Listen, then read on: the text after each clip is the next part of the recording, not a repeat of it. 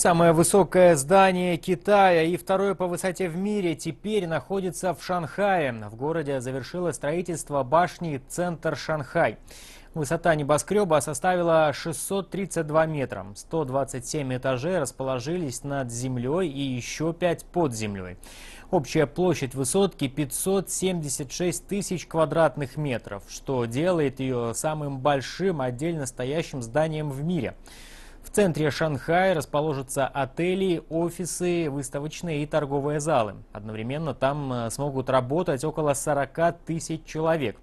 Еще одной особенностью здания является использование экологически чистых источников энергии. Стеклянные поверхности расположены так, чтобы можно было генерировать солнечную энергию.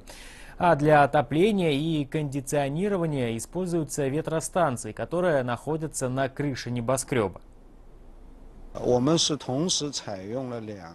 При строительстве этого здания мы использовали самые высокие экологические стандарты в мире. В общей сложности мы задействовали более 40 новых технологий. Таким образом, по сравнению с другими высотными зданиями, наш объем потребления энергии будет на 20% меньше.